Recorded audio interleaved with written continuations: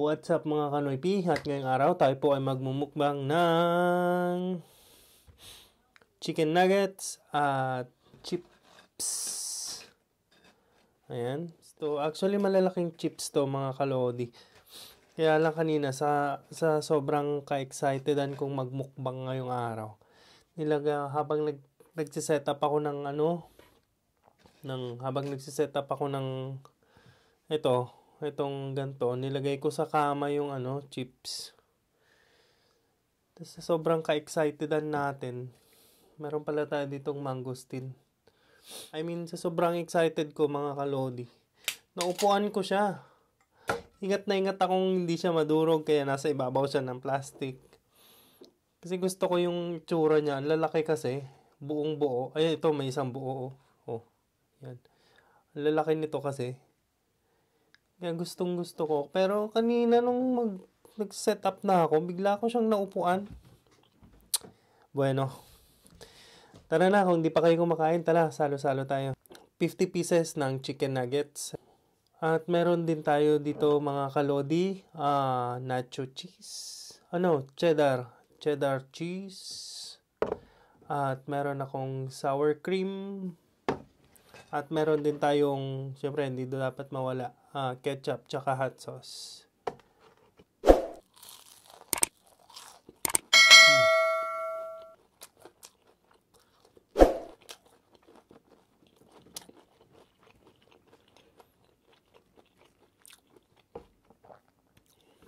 Kumusta pala ang lockdown sa inyo mga kalodi?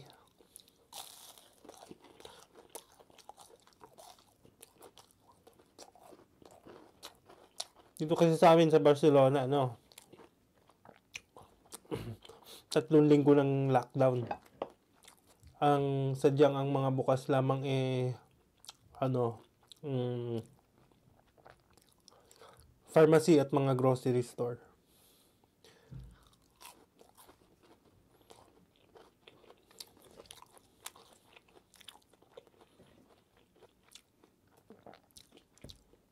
Nung first week tsaka second week ng lockdown dito, may mga matitigas ang ulo na ano, negosyante. Nakikita ko sa ano, nagbubukas sila.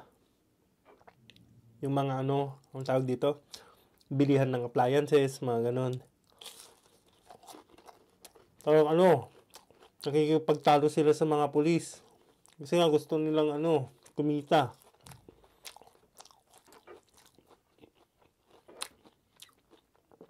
Wala silang nagawa eh. Talagang kailangan sumunod sa batas. Kaya nung third week na, wala na. As in totally sarado sila.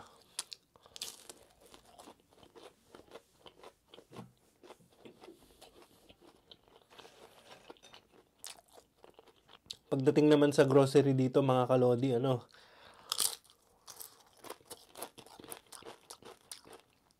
Tapos 9 ng umaga nagbubukas ang mga grocery dito. Nasa 8 media pa lang ang haba na ng pila. Bilib ka rin dito kasi ano, talagang sumusunod sila sa social distancing.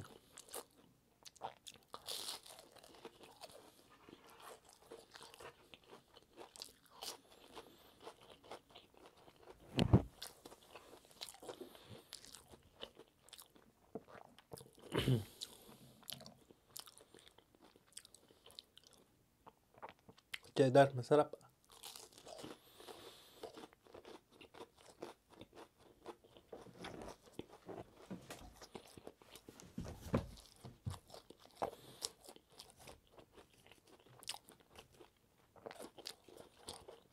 Siyempre tayo, bilang tao, natatakot din tayo para sa buhay natin.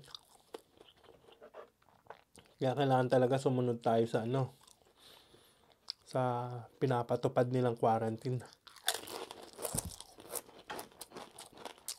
Huwag dapat tayong titigas-tigas ng ulo kasi sa mga kababayan natin at sa lahat ng infected, sana magsigalingan na. Sana may invento na rin yung gamot na yan.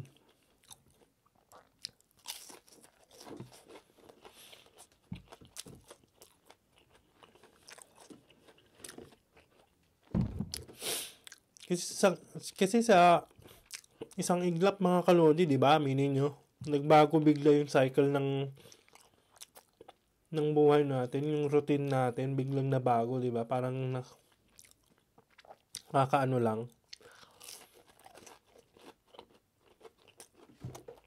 Lahat apektado eh. Kaya dapat talaga nagtutulungan eh. Yung sinabing walang lalabas, walang lalabas. Kausap ko rin kanina yung ano eh. Yung best friend ko sa Singapore. Shout out pala kay Kaador.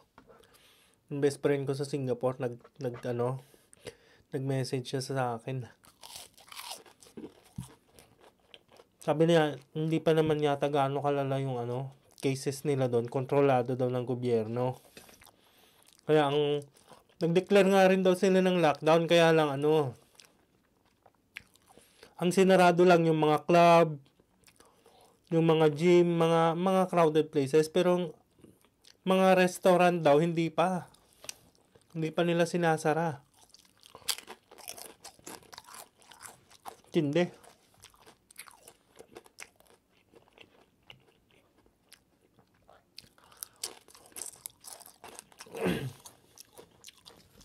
Parang ano, napaparanoid na rin yung tao. Hindi pong pupunta ka ng grocery, tapos hawak, nahawak-hawakan mo yung mga ano doon, mga paninda, tapos pag uwi mo ng bahay, mag mag ilalapag mo yung hindi mo alam kung saan mo ilalapag yung mga pinamili mo kung ilalapag mo ba o ano.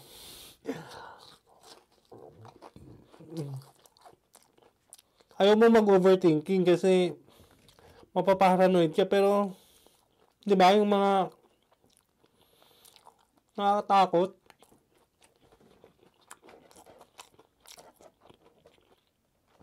Ginagawa ko pa minsan pag galing akong grocery. Bago ako ano lalagay ko sa cabinet yung mga pinamili ko tapos maghuhugas ako ng ano ng kamay, mag-alcohol, papalit ng damit, tapos mamaya, magluluto na ako. Tapos hahawakan ko na naman yung mga delata, yung mga pinamili ko. Tapos maisip ko, kung ano, hinawakan ko to sa grocery kanina. Ah. Parang ganun. Hugas na naman. Parang ganun.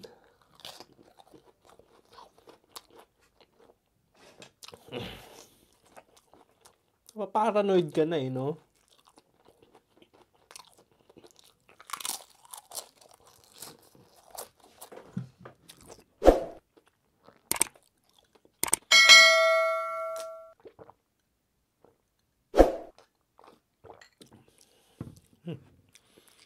Sarap naman ang inumin na to.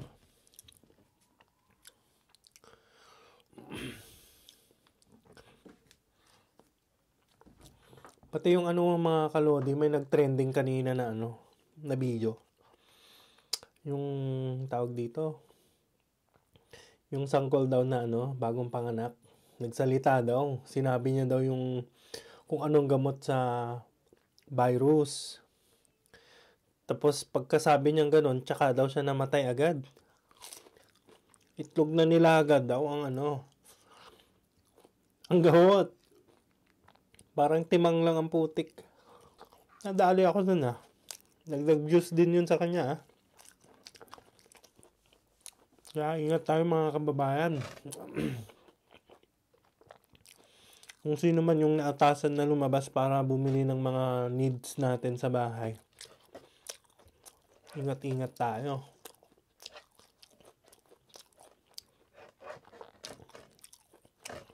Hugas ng kamay. Lagi maghugas ng kamay. Alcohol, yan. Importante yan mga kalodi.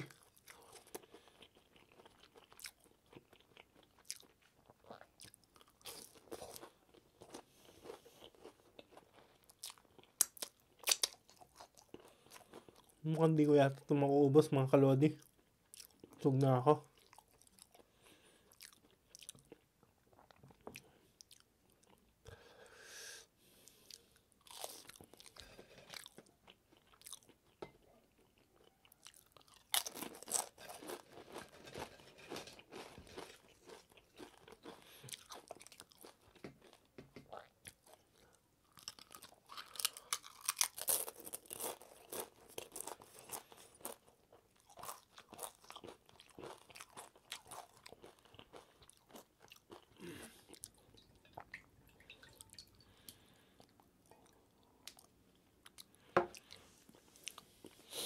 Eh mga kalodi, hindi ko na talaga siya kayang ubusin. Busog na ako.